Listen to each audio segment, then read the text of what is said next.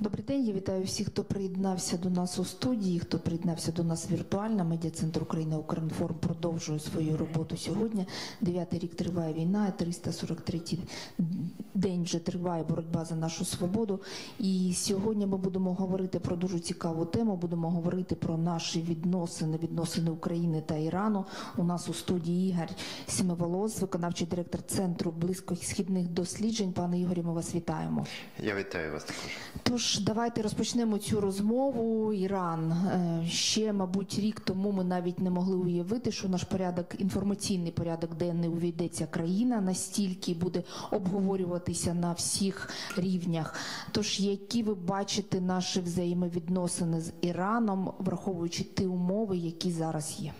Я хочу вперше зазначити, що тривалий час е, відносини між Україною та Іраном е, були суто е, економічні. Тобто ключове завдання, яке вибудовувало Міністерство закордонних прав України, взагалі, якщо ми говоримо про країни глобального півдня, це була економіка. Якомога більше контрактів, якомога більше економічних зв'язків, і будь-яке українське посольство в цьому регіоні воно зосереджувалося в першу чергу на досягненні цих економічних е, успіхів. Е, Якщо ми говоримо про Іран і про динаміку відносин між Україною та Іраном, то можна зазначити, що в нульових роках ця динаміка була доволі ефективна, тобто динаміка економічна була дуже добре. А все ефективно розвивалися наші відносини. Попри те, що в таких галузях, як атомна розбудова Баширської атомної електростанції і інші, скажімо, інша діяльність, яка стосувалася таких болісних тем для Сполучених Штатів Америки та Ізраїлю, от в, в рамках дискусій і обговорень з нашими партнерами Ізраїлем і Сполучених Штатів Америки ця діяльність була згорнута. Ми пам'ятаємо, що вже от до середини нульових років практично українці припинили будь-яку активну взаємодію в цьому напрямку з Іраном. Але по всім іншим напрямкам взаємодія була. І Іран залишався до недавнього часу сьомим експортером українського збіжжя, і це ну, серйозна левова частина його продовольчої безпеки надходила саме з України. Розвивався контракти в газовидобуванні, нафтовидобуванні і в такий відомий проєкт по авіабудуванню. Дехто навіть стверджує, що цей проєкт, який був з Антоновим, Ірану і Антонова, він допоміг пізніше іранцям в розбудові своїх БПЛА. Ну, це до справи, як кажуть, не пришиєш, просто є такі твердження. А ситуація почала змінюватися буквально от декілька років тому, і очевидно, ми відчули серйозні зміни десь в грудні позаминулого року, коли росіяни і іранці почали доволі активну співпрацю, і вже тоді, очевидно, були намічені ключові напрямки їх взаємодії, які були реалізовані влітку минулого року. Якщо говорити про Росію та Іран, що з цим що за цим союзом стоїть взагалі, і наскільки ви бачите, що ця їхня співпраця, про яку вже всі говорять, військова співпраця може далі поглиблюватися і розвиватися, і чим це загрожує нам? Ну, перш за все, очевидно, варто згадати про Сирію, про сирійський кейс, де з 2015 року Іран і Росія виступають союзниками в війні в Сирії, і це був перший і важливий компонент їхньої співпраці, який заклав в значній мірі подальші подальші події. Касим Сулеймані, бригадний генерал корпусу вартових ісламської революції командувач експедиційного корпусу Аль Куц, який був вбитий у 20-му році американцями в аеропорту Багдада. Він якраз був одним із промоутерів цієї російсько-іранської іранських відносин. Е, Що е, наступний етап дуже важливий полягав в тому, що росіяни активно виступали, е, скажімо, таким лобістом Ірану в на міжнародному е, на міжнародній арені е, в міжнародних організаціях і захищали іранські інтереси, е, особливо коли мова йшла про ядерну угоду. Росіяни е, до останнього часу намагалися якби зберегти певний нейтральний підхід, особливо в контексті ці переговорів з е, по відновленню ядерної угоди з американцями. Але після початку війни і власне після запровадження санкцій е, проти е, Росії, ця країна взяла курс на зближення з Іраном, в тому числі на створення такого військово-політичного союзу. Тобто від формату опікування Іраном вони перейшли до формату повної і все, все, проникаючої взаємодії.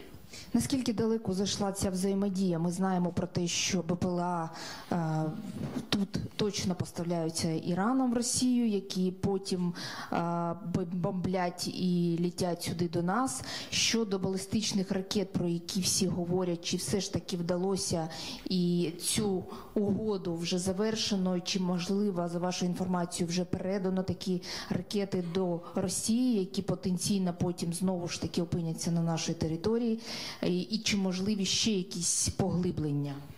Ну, я почну напевно з економічної е, сфери. Існує зараз. Ми бачимо, що вони е, Іран і Росія об'єднують свої е, банкові системи.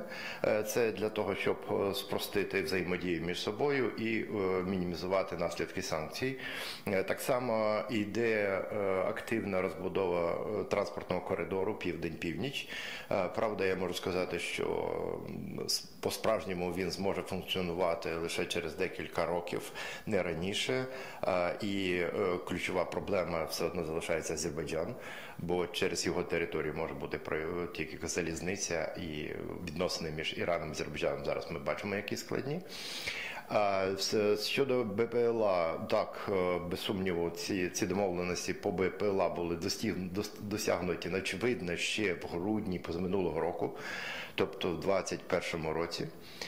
Але е, к- фінальна, фінальна е, е, вже були е, рішення було прийнято під час візиту Путіна до Тегерану в, е, в липні 22 року.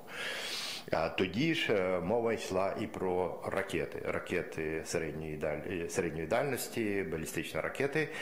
Але слід сказати, що Іран е, не до кінця довіряє Росії, як і Росія не довіряє Ірану, і е, їх відносини вибудовуються е, за принципом, хто перший кого здасть.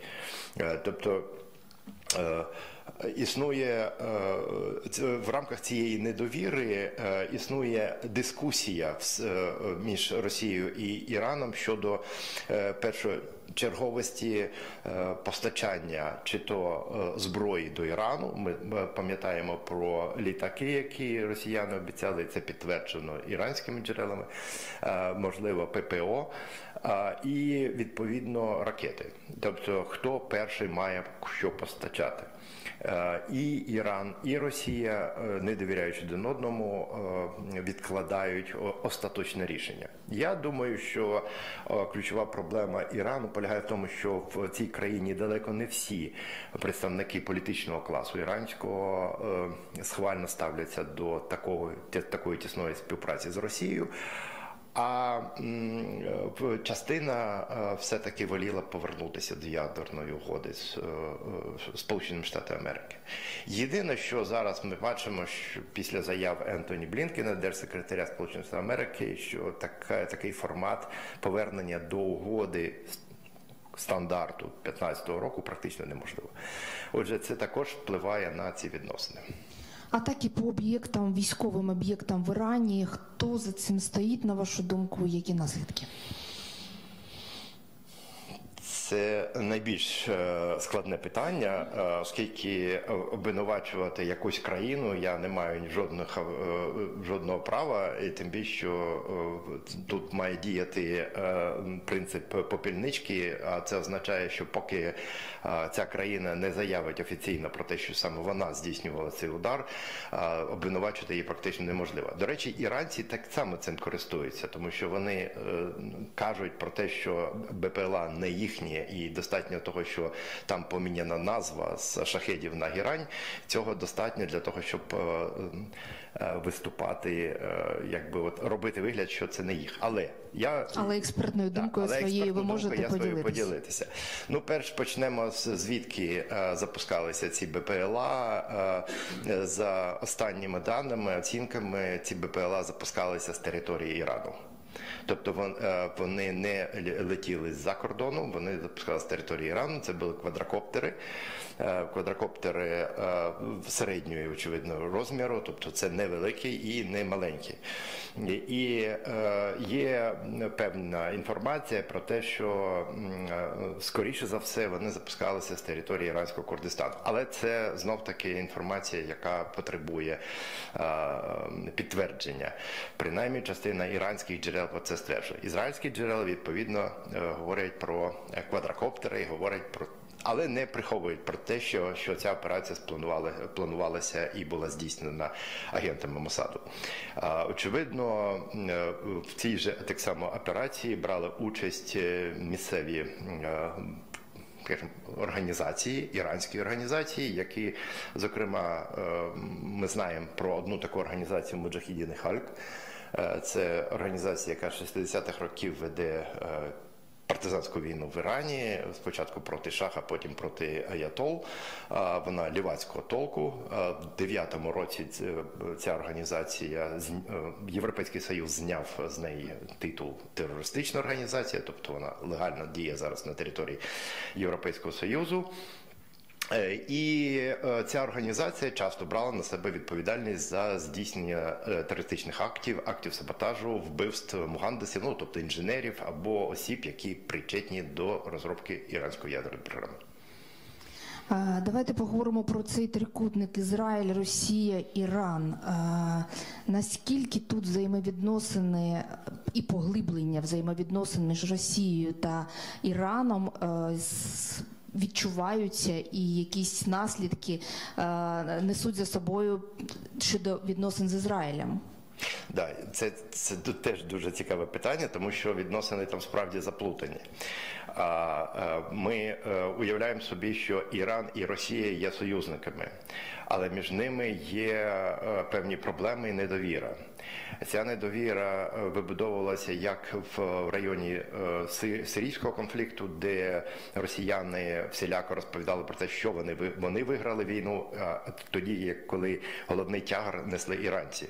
Іранці цим були страшенно незадоволені.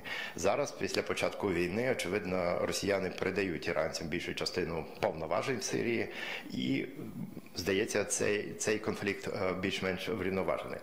З іншого боку, е, росіяни намагалися втримати Ізраїль від активної ну, підтримки України, і для цього їм потрібно було постійно нагадувати Ізраїлю про їхні можливості в Сирії і можливості е, е, іранських проксій, які в при певних обставинах можуть нанести удар по Ізраїлю.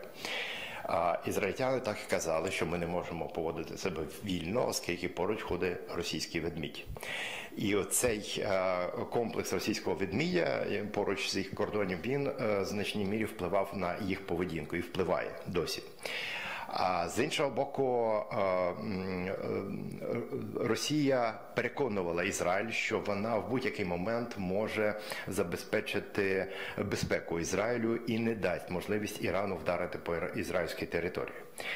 А як е, все це пов'язується з постачанням авіації е, нових літаків е, Ірану і засобів ППО, ну сказати важко.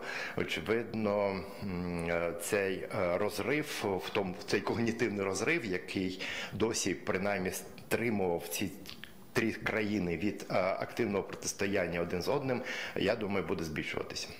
Таке поглиблення взаємодії між Іраном і Росією чи допомагає воно нам у наших взаємовідносинах з Ізраїлем? Поки що ні. Поки що ні. Я е, по, по- як ви бачите, Ізраїль виносить це за дужки. Е, Він намагається вирішувати питання з Іраном через Росію, і е, досі я не побачив жодних ознак зміни їхньої політики. Е, Цілком можливо, що візит нового міністра закордонних справ е, Ізраїлю. Е, е, Елі Коїна до України змінить е, цю ситуацію, або принаймні ми почуємо якісь нові е, ідеї. Бо поки що за весь цей час жодних ідей нових от з моменту минулої каденції Бібі Натаньягу як прем'єра ми не побачили. і Беннета, і Лапіда, і власне зараз знову Натанягу. Ми не почули нових ідей. Ці ідеї всі старі і вони вже не цікаві, тому що ситуація серйозно змінила для нас. Повертаючись до атак на об'єкти військової інфраструктури, е, чи впливає це на нас такі атаки, і наскільки позитивно? Я хочу перше зазначити, що удар е, цими БПЛА е, по заводу в Ісфахані здійснений в інтересах країни, яка це зробила. Не в інтересах України, не в інтересах іншої країни. Тобто це в інтересах тієї країни.